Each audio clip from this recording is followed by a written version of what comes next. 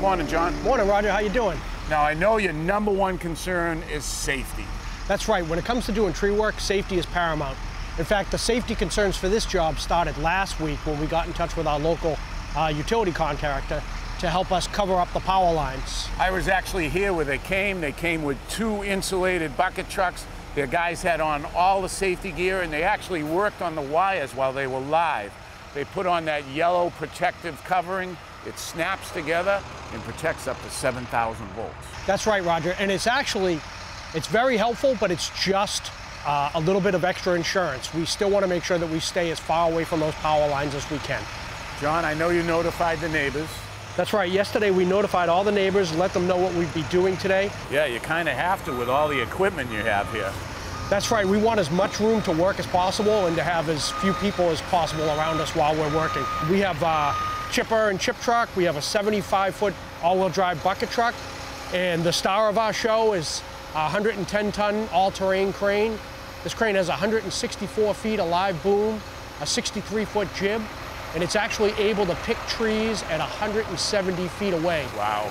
Now, it seems like a bucket truck would be used in most cases to do a job like this, but the crane is a perfect fit. That's right. Um, you can see we're using the crane to lift the pieces and bring them away from the house and the power lines and the telephone poles. Um, if we were using a bucket truck, we'd be lowering those pieces down right in the area where the hazards are. Since we're using a crane, we're able to lift them away from the hazards and set them down behind the chipper where it's safe to work. What would maybe be a two to three day job is, is an easy one day job using a crane. Wow, that's pretty expedient. It really speeds things up. So the bucket truck works in tandem with a crane. That's right. So the way it works is the crane boom will be above the trees and it will lower down um, a nylon sling and that nylon sling will be attached by the bucket operator to the top of the tree.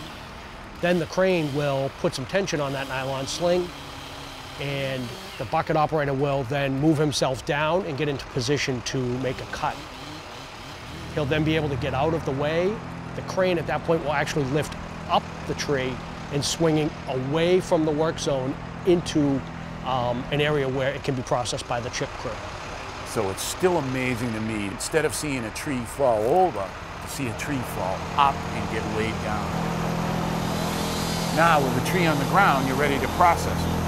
That's right, so what they're doing now is they're cutting the branches off of the big piece the top of the tree, and then they're grabbing it with the grapple, lifting it up, putting it into the hopper of the chipper, and it's uh, going in as wood, coming out the other side as chips. Well, how big a log can you take? That chipper will actually take a 22 inch hopper. Wow. And what happens to the wood and the chips?